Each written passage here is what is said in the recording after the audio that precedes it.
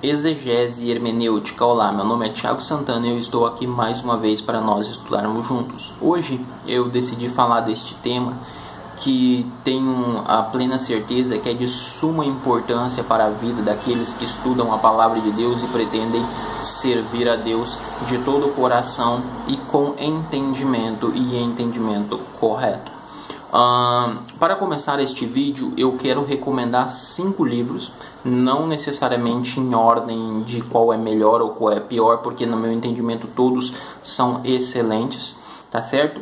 Esses livros, uh, um só não é editado, não é publicado pela editora Vida Nova, mas vale a pena você lê-lo e adquiri-lo. É, o primeiro, uh, a Tríade Hermenêutica, a Tríade Hermenêutica, publicado pela editora Vida Nova uh, Espiral Hermenêutica, publicado pela editora Vida Nova, Manual de Exegese, é, publicado pela editora Vida Nova do Douglas Stewart. Uh, o Douglas Stewart que tem um outro livro muito famoso que também é editado pela uh, também é publicado pela editora Vida Nova, que é o uh, Entendes o que lês, muito bom livro, é trabalho do Douglas Stewart e do Norman, desculpa, é Douglas Stewart e Gordon Free. É, são quatro, esses quatro livros da editora Vida Nova. Vale a pena você adquirir, será um bom investimento para sua vida espiritual, para que você se dedique a estudá-los e ter uma correta compreensão da Bíblia. E o outro livro é da Unasps Press, que se chama Compreendendo as Escrituras, tá certo? Entre no site da Unasp Express, entre no site da editora Vida Nova e adquira estes livros. Você não vai se arrepender, serão ah, de grande utilidade para você que é estudioso da Bíblia, tá bom? Então, basicamente, qual a importância da hermenêutica e da exegese? Veja, a hermenêutica e a exegese elas são de suma importância. Por quê? A Bíblia ela foi escrita em um determinado contexto cultural, um determinado é, contexto histórico.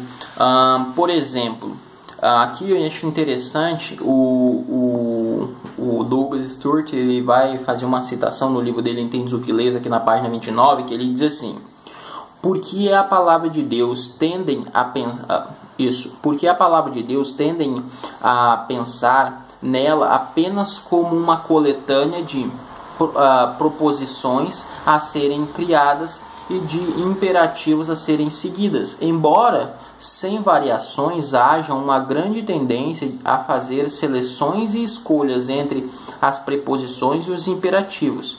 Por exemplo, existem cristãos que, com base em Deuteronômio 22, verso 5, a mulher não deve usar roupa de homem, nessa citação de Deuteronômio 22, verso 5, argumentam literalmente que a mulher não deve usar calça comprida, nem short, é, julgando que, tam, uh, que tais tipos de roupas são próprios do vestuário masculino. Contudo, as mesmas pessoas raramente, raras vezes entendem literalmente as demais, os demais imperativos daquela lista que incluem a construção de um parapeito no telhado da casa e, do, uh, e não plantar de dois tipos de sementes numa vinha e a feitura de bordas nos quatro uh, cantos da roupa que ele está citando da veste judaica.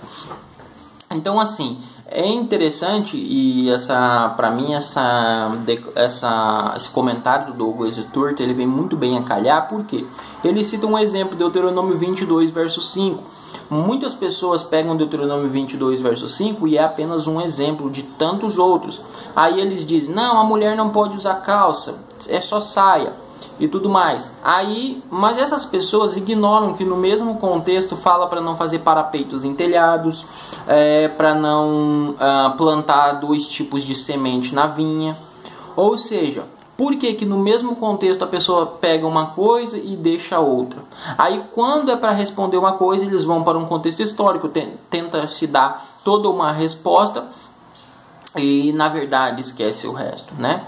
Então, nesse sentido, o, o, o contexto é muito importante, tanto o contexto histórico, social, ok? Porque quando nós vamos estudar um texto, nós não podemos deixar de lado o seu contexto histórico e social. E aqui entra o papel da exegese. O que seria a exegese e qual é, seria a sua tarefa?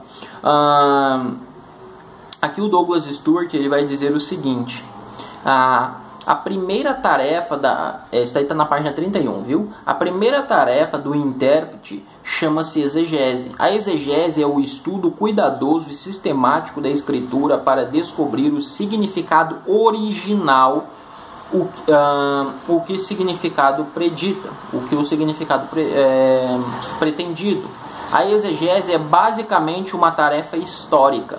É a tentativa de escutar a palavra de Deus no mesmo modo que os destinatários originais uh, devem tê-la ouvido, descobrir qual era a intenção original das palavras da Bíblia. Então, uh, qual é o papel básico da exegese? É você descobrir qual o propósito original do autor e o que ele queria dizer aos destinatários. Nós não podemos, quando nós lemos um texto, querido, começar com um aqui e com um agora. Grandes problemas doutrinários e teológicos que existem hoje são fruto de estudar a Bíblia apenas no aqui e no agora. A pessoa lê um texto, por exemplo, ah, muitos, muitos citam é, lá em Coríntios, quando fala a letra mata, mas o espírito vivifica. E a pessoa diz: olha, nós não devemos é, essa coisa de erudição, de estudar de forma profunda, estudar línguas, hebraico, grego, é, teologia sistemática toda essa esse arcabouço de, de matérias teológicas deve ser esquecida, porque o que importa é o que o texto fala aqui para o leitor agora. E isso é muito perigoso. Primeiro, que uma pessoa, quando a pessoa diz, né, a letra mata, mas o espírito vivifica, ela já está ignorando que muitos teólogos suaram a camisa para ela ler isso, porque foi necessário que uma pessoa estudasse grego, uma pessoa conhecesse hebraico para traduzir esse texto de forma correta para que ela pudesse ler. Então, assim, já é uma contradição. A letra mata, mas o espírito vivifica. Ou seja, se não existisse teólogos conhecedores do grego, ela não leria este texto. Ok?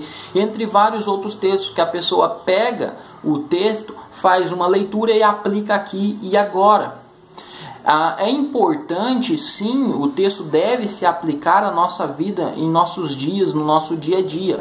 Mas para que eu corretamente, corretamente traga ah, o texto para os nossos dias e aplique na minha vida hoje, eu preciso conhecer o seu significado teológico no contexto em que ele foi escrito, ok? Então eu preciso ir, por exemplo, lá em Corinto, por exemplo, a uma situação, por exemplo, Paulo fala do uso do véu.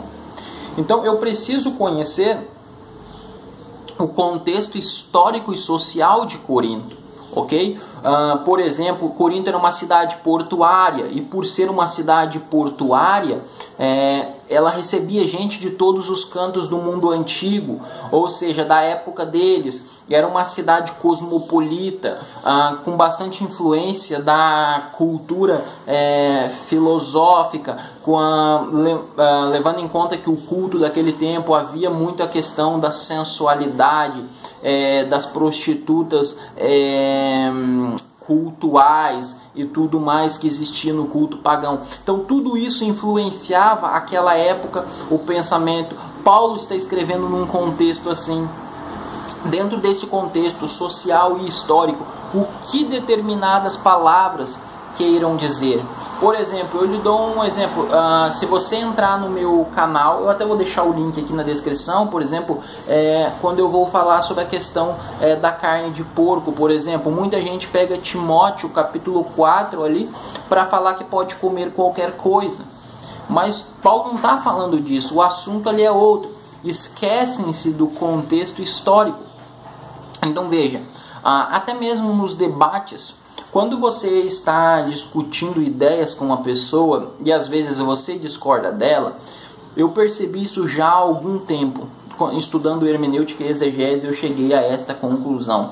Não adianta, por exemplo, porque se eu debato com uma pessoa a respeito do arrebatamento secreto, raramente ela terá uma ideia, ela mudará de ideia. Até porque Ah, por quê? Porque essa pessoa ela tem um pressuposto hermenêutico diferente do meu. Então, por exemplo, o meu, minha, a minha, a minha escola no que tange a interpretação profética é historicista e no que tange o restante das escrituras gramático histórico. Uma pessoa geralmente que interpreta o arrebatamento secreto, ela é de escola dispensacionalista. Então são ah, duas, claro que nem todas as pessoas que defendem o arrebatamento secreto, elas sabem disso, elas sabem qual a escola que elas pertencem, mas deveriam e deveriam saber também por que, que não são historicistas, por que, que não são futuristas, por que, que não são críticas históricas, por exemplo, por que eu não sou crítico histórico, por que eu não sou dispensacionalista, por que eu não sou é, preterista, eu sei. E aí cada um deve saber por que não é. E por, e, e, entender por que, que aquela escola teológica a qual ela é adepta surgiu, em que momento surgiu, como surgiu, ok? Isso é entre, extremamente importante para o estudo teológico. Então hoje eu entendo e, que ah, uma pessoa, quando você geralmente está num debate, discutindo algumas ideias com uma pessoa, você na maioria das vezes você vai perder o seu tempo. Por quê? Porque os pressupostos hermenêuticos são diferentes. Talvez o mais sugerível seja você conversar e dialogar com ela a respeito dos pressupostos. Por que, que a escola, por exemplo, dispensacionalista, não pode é, ajudar numa, a, num, a compreender a, a, escritura no seu sentido pleno e, e real, ou seja, alcançar o objetivo original do texto? Talvez essa seja uma boa ideia. Uh, e eu confirmei isso, por exemplo, na, na minha aula. Ontem, meu professor, eu faço teologia, faculdade de teologia, e o meu professor estava falando sobre isso. E ele, em determinado momento, ele diz: Olha, uh, você por exemplo, às vezes você está num debate, você está conversando com uma pessoa e você vai apresentar 100 mil textos para ela, você vai apresentar vários 100 mil textos, assim, uma expressão, né? ah, bem é, exagerada, mas você apresenta ali para ela, sei lá, 20 textos. E aí a pessoa pega e para você aquilo está claro, mas para ela aquilo não está claro. Por quê? Porque a compreensão dela, o modo dela de olhar para o texto é diferente do seu. E isso implica em hermenêutica, entende? Porque a, a visão hermenêutica dela é diferente. É interessante também e aqui, hermenêutica, ela pode, alguns chamam de ciência da interpretação de textos e tudo mais. Um sentido bem interessante que eu acho que o, o Gordon Free e o Douglas Stewart colocam no livro é, Compreendendo as Escrituras, que uma vez que hermenêutica é interpretar, seria interpretar e aplicar em nossos dias. Ou seja, quando eu faço uma hermenêutica, quando eu faço uma análise hermenêutica é, que ela vem de uma exegese sólida, eu tenho a correta compreensão do texto para os meus dias. E eu não vou pegar um texto simplesmente e, e aplicar aqui, agora, de qualquer forma. Por exemplo, muitas pessoas pegam 1 Coríntios capítulo 3, versos 16 e 17. Quando diz ali, quem destruir o templo do Espírito Santo será destruído, ou não sabeis que vós sois templo do Espírito Santo e tal. Aí a pessoa pega e aplica agora. Não, não que o nosso corpo não seja o templo do Espírito Santo, o nosso corpo é o templo do Espírito Santo. Mas o texto ali não está dizendo isso, porque Paulo está falando com a igreja de Corinto. O templo ali a qual ele se refere é a igreja que não estava sendo edificada pelo comportamento e forma de ver a, a, a, a teologia bíblica e os apóstolos, o, o, os. Ah, os discípulos de forma errada. Ao que parece, eles estavam uns tinham seguido Cefas, outros Apolo, outro Paulo, eles estavam discutindo uh, ali qual seria o líder melhor, qual o líder devia seguir, qual que estava certo, qual que estava errado, e quando na verdade não havia isso entre os líderes e o propósito era outro diferente. Então Paulo argumenta, vai argumentar do capítulo 1 até o do capítulo 1, eu tenho, teria que ver aqui, é, do capítulo 1, é, do capítulo 1 até o capítulo 4, 21, ele, ele está traçando um argumento inteiro para trabalhar a unidade da igreja, como que a igreja deve pensar, como que a igreja deveria estar estruturada. Então, basicamente, ele não está falando para o membro, para a pessoa em si individualmente, mas sim para a congregação, quando ele diz: Vós sois templo do Espírito Santo, e quem destruir o templo será. Quem destruir o templo de Deus será destruído e tal. Então, assim, não tem uh, esta ideia no texto quando você analisa um texto por completo e o contexto uh, histórico e social onde o texto está inserido, entende? Então, isso é muito importante.